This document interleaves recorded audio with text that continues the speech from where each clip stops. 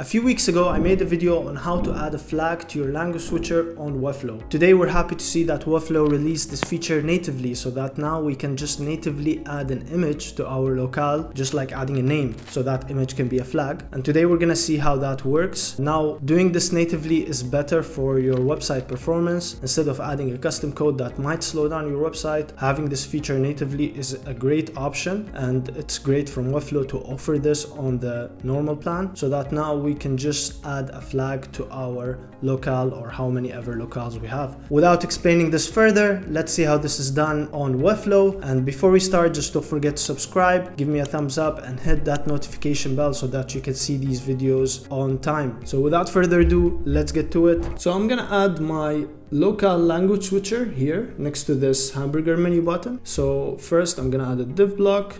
This div block is gonna be in the middle. I'm gonna give it an auto margin from the left so that it's placed next to the hamburger menu button. I'm gonna give it one rem from the right so it has some spacing and I'm just gonna name it language switcher wrap. Inside it, I'm gonna add a locale list. So this is my locale list. And then inside it, I'm gonna add a drop down. So this is the drop down, it goes here and then I open the drop down and where it says drop down list I'm gonna add locale list. I'm gonna remove these links and then this is there. So when I open this I can see my locals. and uh, now we're gonna style it a little bit. So first I'm gonna remove this link and I'm gonna add here an image. So uh, we're gonna have an image here. We're not gonna have a text and this image will be basically pulling from the locale image. So you see the locale image. Now I've already uploaded a flag. So if we go to the local go to localization and we go to English for example you can see here it says display image and here's where you can add your flag image. And the same thing for the Arabic or whatever language you have you can just go and add an image. Now this image can be a flag can be an, your own image it can be whatever you want. So this is just for you to distinguish the locale. Okay so now we're gonna name this icon medium. Icon medium oh my god I have so many icons yeah so icon medium. And then inside the locale list we're also going to do the same thing. So let's open this.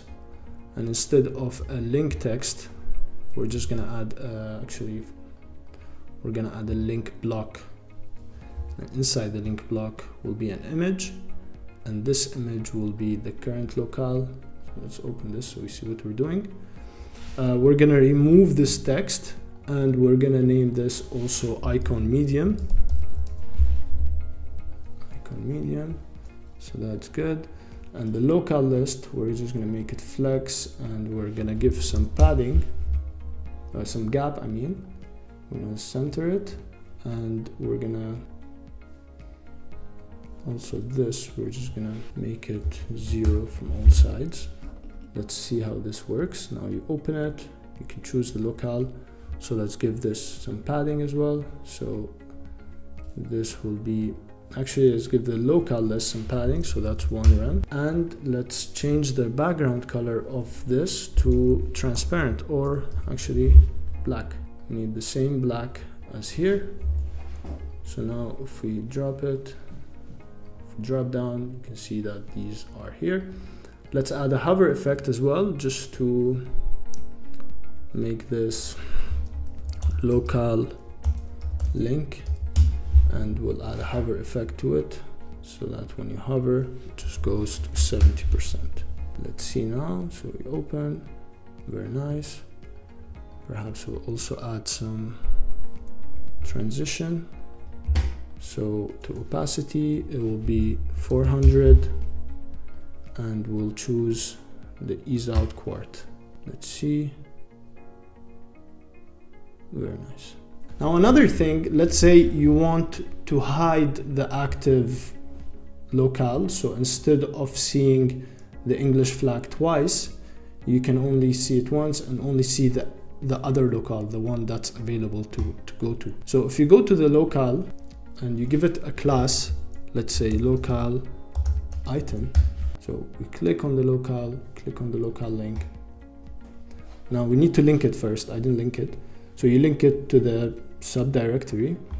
And now if you see here, the locale link has a current state. Now in the current state, I can say it hides. So if it's a current state, it just hides. Let's fix these, uh, let's remove this gap and that's it. So if we publish now and have a look, we're just gonna see the available locale and not the current locale. So if we go here to the website, we're gonna see the English flag and we're gonna see the Arabic flag. And if you switch, you just go back to the Arabic flag. Now also another thing, you saw that we just changed to the home page and we don't want to do that. We actually want to go stay on the same page. So if we go here on the link, so I chose subdirectory, I can choose page. So now it's just gonna stay on the same page and gives me the English version or the Arabic version of that page specifically. So let's see how that works. So if I go here, click Arabic, it just changes the same page, it stays on the same page, but it just changes it to Arabic. And that's basically it. Another thing we can fix is this language flag staying there on the side. So maybe we can include it in a div with along with the so along with the hamburger menu we can combine them. So let's say we choose the hamburger menu and this we can wrap them in a div block. And this div block is going to be centered it's going to be menu buttons nav. And if we change now to the Arabic locale you can see that they move together. And we can also add some spacing between this.